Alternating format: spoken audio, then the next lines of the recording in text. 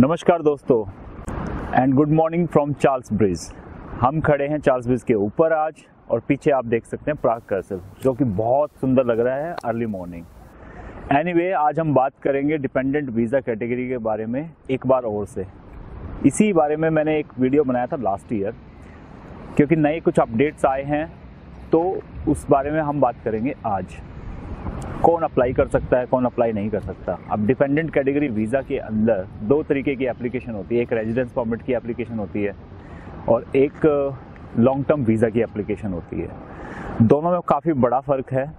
कुछ लोगों को मैंने सुना बोलते हुए कि नहीं long term visa much better है रेजिडेंस परमिट के अकॉर्डिंग ऐसा नहीं है। रेजिडेंस परमिट का जो स्टेटस है, वो हमेशा से ही ऊपर रहा है और ऊपर है। और इसमें जो रिजेक्शन लेवल हैं, वो बहुत कम रह जाते हैं। पेपर वर्क भी कम है।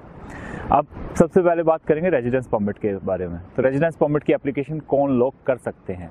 रेजिडेंस परमिट की एप्लीकेशन वो लोग कर सकते हैं जो एम्प्लॉय कार्ड के तहत इस देश में आए थे, ठीक है, जिनको छः महीना इस देश के अंदर हो गया है और अपनी वाइफ को इंडिया से बुला के लाना है या बांग्लादेश से लाना है नेपाल से लाना है, किसी और कंट्री से लेके आना है। तो छः महीना उसको होना चाहिए एम्प्लॉय कार्ड पे। या आप स्टूडेंट हैं तो आपको पंद्रह महीना होना चाहिए।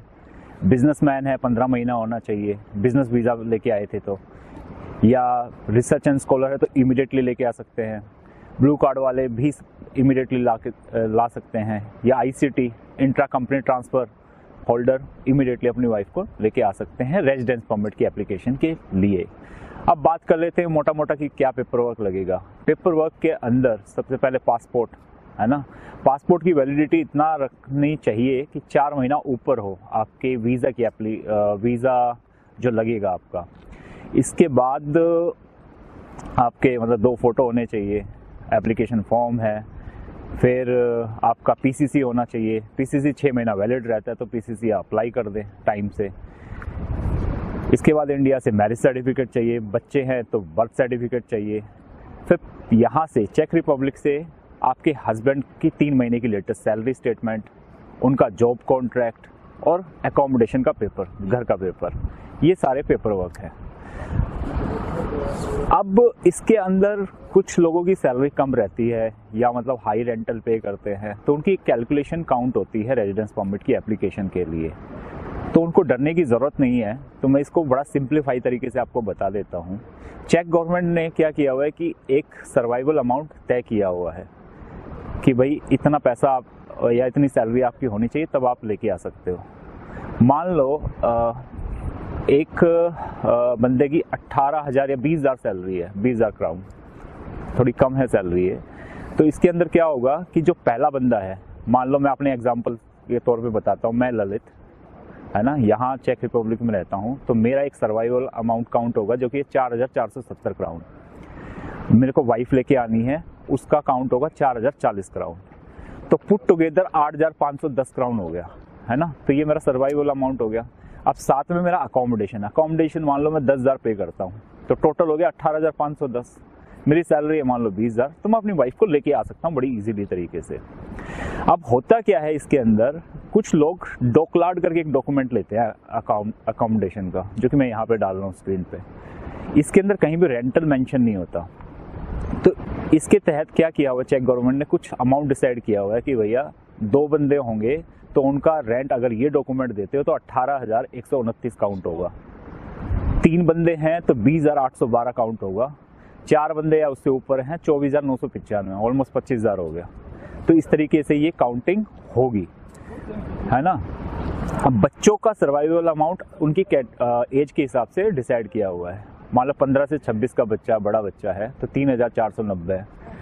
उससे छोटा छः से पंद्रह की कैटेगरी आती है, फिर तीन हज़ार पचास है उसका। ज़ीरो से छः है तो चौबीस सौ अस्सी क्राउन है। तो इस तरीके से रेजिडेंस परमिट की एप्लीकेशन तैयार की जाती है। बड़े ही सिंपल तरीके के पेपर हैं। और सक्सेस रेट इसका ज़्यादा रहता है। अगर आपका पेपर वर्क ठीक है तो 100 परसेंट वीज़ा मिलना ही मिलना है। अब बात करते हैं लॉन्ग टर्म वीज़ा की।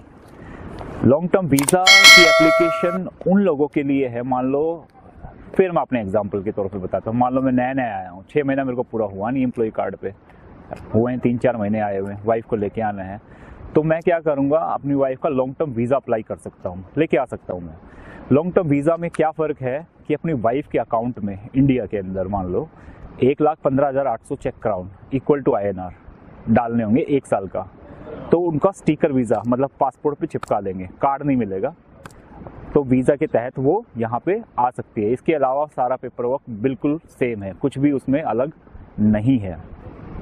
But again I am mentioning कि जो रेजिडेंस परमिट का जो स्टेटस है, वो हमेशा से ऊपर है as compared to the long term visa क्योंकि लॉन्ग टर्म वीज़ा में थोड़ा रिजेक्शन के चांसेस थोड़े बढ़ जाते हैं। But residence permit is always advisable to apply और इस वीडियो के तहत मैं आपको धन्यवाद करना चाहता हूँ कि इस साल 2023 में जनवरी से अभी तक, आज हम, आज है तारीख पाँच मई, है ना? तो पाँच मई तक हमने 125 एप्लीकेशन कर दिए हैं ऑलरेडी और 16 एप्लीकेशन और होनी है इसी मंथ और 100 परसेंट रिज़ल्ट है, सारी सक्सेसफुल हैं। तो आशा करते हैं कि आप हमसे जुड़े रहेंगे और हमें सेवा का मौका आगे भी देते रहेंगे। इसके अलावा मैं बताना चाहूँगा कि अपने माँ बाप को कुछ लोग लेके आना चाहते हैं। अब माँ बाप की कैटेगरी थोड़ी सी डिफरेंट हो जाती है। इसके अंदर क्या होता है, अगर दोनों हैं मतलब आपके पिताजी और माताजी दोनों मतलब जीवित हैं तो आज की डेट में ये वीज़ा थोड़ा रिलक्टेंट है, नहीं दे रहे हैं। तो इसके अंदर इन्होंने एक लॉ बनाया हुआ है कि सिंगल पेरेंट होना चाहिए और उसकी उम्र पैंसठ साल से ऊपर होनी चाहिए। क्योंकि वो अपना मतलब रख रखाव या आपकी माता जी रख रखाव नहीं कर पाती हैं अकेली हैं तो आप उनको ला सकते हो लॉन्ग टर्म वीज़ा पे। कैलकुलेशन बिल्कुल सेम काउंट होगी, उनका भी शीज एन एडल्ट तो चार हज़ार चालीस वो काउंट होगा ही। तो ये पूरी मतलब डिपेंडेंट वीज़ा की कैटेगरी है। आशा करते हैं कि आपको पूरी कैलकुलेशन समझ में आई है। अगर आपके फिर भी कोई सवाल है तो आप नीचे कमेंट बॉक्स में डालिए। हम ज़रूर आपका उनका आंसर करेंगे। और हमारा फेसबुक पे एक पेज है गो चेक डॉट इन के नाम से तो आप उसको प्लीज़ ज्वाइन करें। उसमें आप सवाल डालें, हम उनका आंसर करेंगे। और कभी भी आप हमें रीच आउट कर सकते हैं। धन्यवाद।